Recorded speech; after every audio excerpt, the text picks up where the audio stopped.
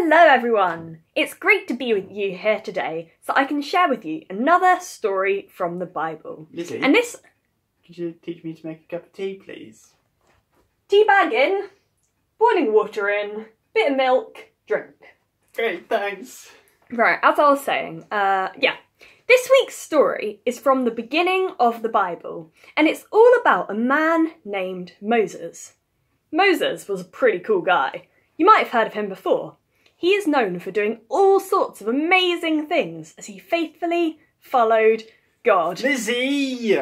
Harry stole my favourite pen. Make him give it back. Harry! Give Tom's pen back! Give it back.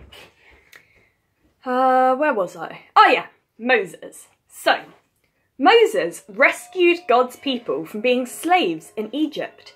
He led them right through the middle of the sea, and now he was in charge as God, as the people of God travelled to the land that God had promised them. But it was hard work. Lizzie, I'm bored. Can you entertain me? Go and do a jigsaw puzzle. Oh, okay. Right, so as I was saying, it was hard work leading the people because the people disobeyed God and had lots of arguments between themselves. And every time someone had a problem or an argument, they brought it to Moses to solve. Lizzie!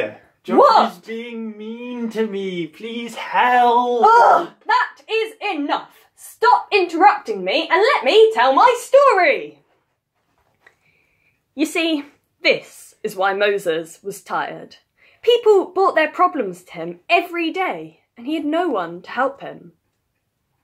And then one day, Moses' father in law, that is, Moses' wife's dad, came to visit. Moses' father in law was called Jethro, and he was very, very wise. He saw Moses surrounded by all those people, all asking for help. Jethro asked Moses, Moses, why are you making all the decisions by yourself? Oh, said Moses, because, well, because it's, you know, they, ju- they just all ask me.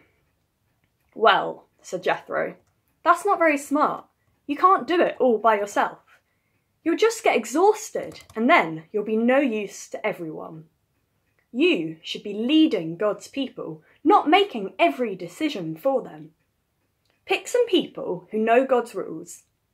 Get them to be judges, and tell the people to go to them with their problems. Only if those judges can't sort it out can they then bring the questions to you. Moses, you need to stop doing it all by yourself. So, Moses did what Jethro asked him. He put together this team of judges to help him. And it all worked out just like Jethro said it would. Moses learnt a very important lesson that day. He learnt that working with others was what God wanted. And that lesson is just as true for you and for me. God doesn't want us to struggle with things on our own. He designed us to work with others. God wants us to work in community. People are not made to be on their own. They're designed to help each other and work together. So, next time you're struggling, why don't you ask for help? I hope you've enjoyed today's story. I'll see you all next week.